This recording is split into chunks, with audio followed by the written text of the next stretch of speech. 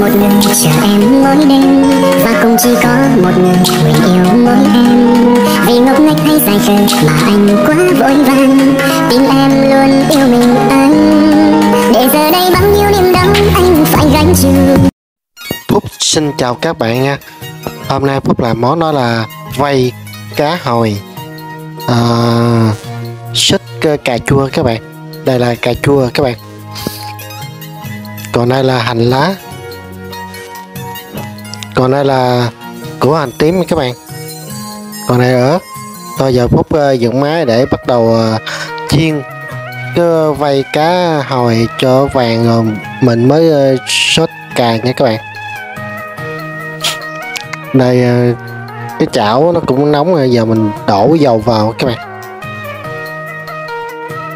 Đổ dầu vào là chúng ta chiên cái vây cá hồi cho nó vàng các bạn đây nè các bạn quay cá hồi nè. Bây giờ mình à, bắt đầu chiên các bạn. Hôm nay chúc cho các bạn một ngày mới tốt lành hạnh phúc và thành công nha các bạn. Các bạn xem clip Phúc hãy nhớ nhấn like, chia sẻ và subscribe ủng hộ Phúc nha. Cảm ơn các bạn rất nhiều nha. Đây các bạn.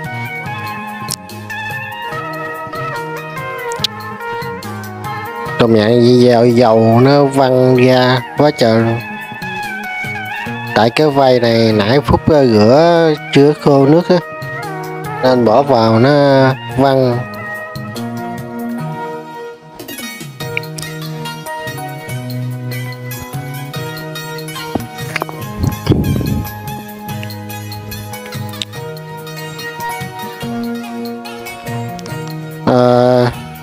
Mấy nay Phúc bận các bạn nên là Phúc không có đi ra ngoài à, rừng tràm.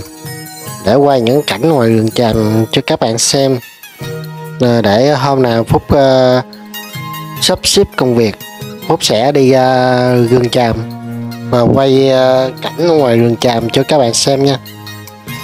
Ở ngoài rừng tràm thì nó mát mẻ lắm các bạn. Thiên nhiên cảnh đẹp. Đây là vây cá hồi đã vàng các bạn mình trở qua cái nữa là ok.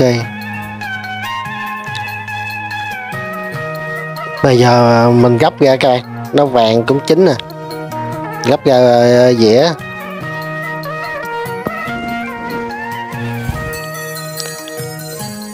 Rồi xong cái mình chiên cái mới nữa các bạn. Tại một ký uh, cái vầy à, cá hồi á nó cũng nhiều lắm các bạn.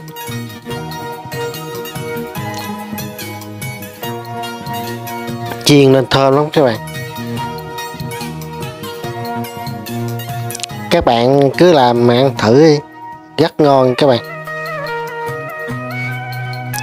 Và cá hồi này rất tốt nha các bạn. Vì trong cá hồi có omega 3 rất uh, cao nha các bạn. Chất đạm thì cũng có được 20 phần trăm nha các bạn.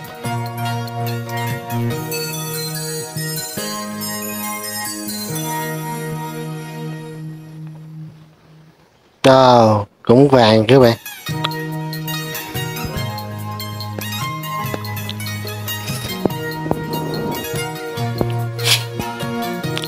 Đây các bạn, thôi giờ Phúc sẽ đổ uh, của hành tím và phi.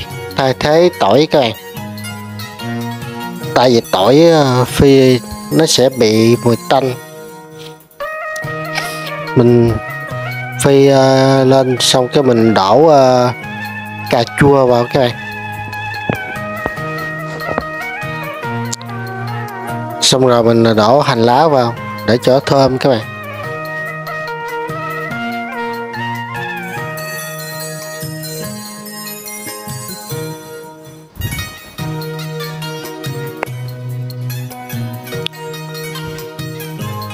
Chúng ta nêm nếm nha các bạn. Nước mắm, khẩu vị của các bạn. Sao các bạn cứ nêm theo khẩu vị của các bạn nha.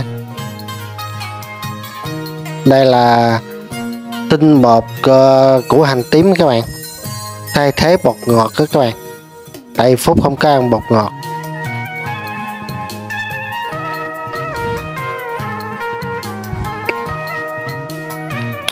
Còn đây là đường khẩu vị của các bạn, sao các bạn cứ nêm như thế?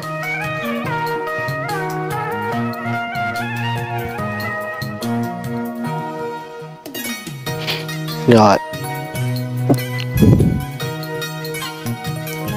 Chúng ta cho vào một tí xíu nước các bạn, để cho cà chua nó chín nhừ ra các bạn.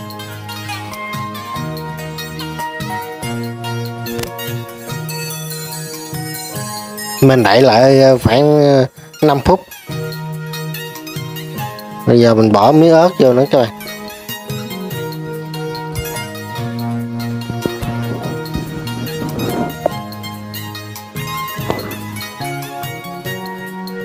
Bạn đây các bạn, bây giờ mình đổ cái ờ, vây cá hồi vào các bạn. Hồi nãy mình chiên nó giòn rồi.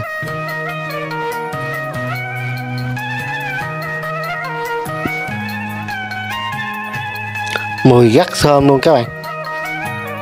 Các bạn à, làm ăn thử rất ngon nha các bạn.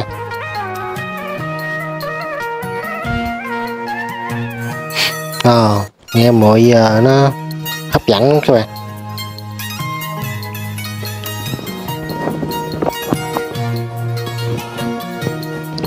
Mình sơ cho nó đều nha các bạn.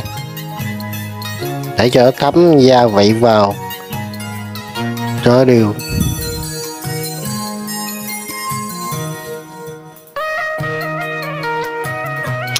Xong rồi à, phúc sẽ đem ra dĩa nè các bạn. Đã hoàn tất rồi các bạn.